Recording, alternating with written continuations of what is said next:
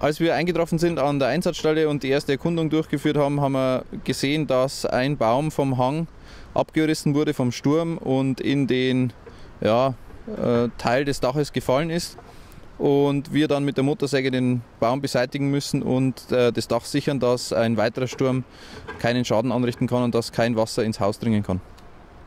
Die äh, Hanglage und der Baumbestand ähm, erhöhen in der Situation das Risiko, dass etwas aufs Haus fällt beim Sturm.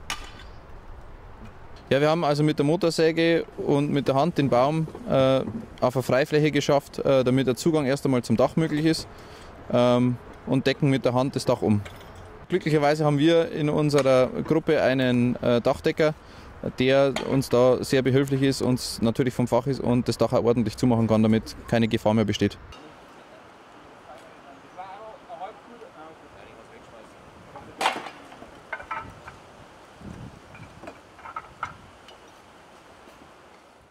Hallo, wir sind hier die Hausbewohner seit 67 Jahren.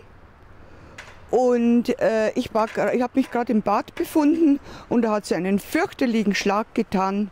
Und äh, da ist der Baum aufs Dach gefallen und zum Teil auch aufs Badfenster. Ich war genau im Bad unter dem Fenster, als der Baum drauf fiel.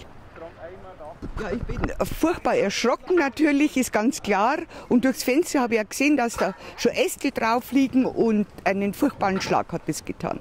Also das geht so vor dem Haus vorbei. Nächste Woche, oder?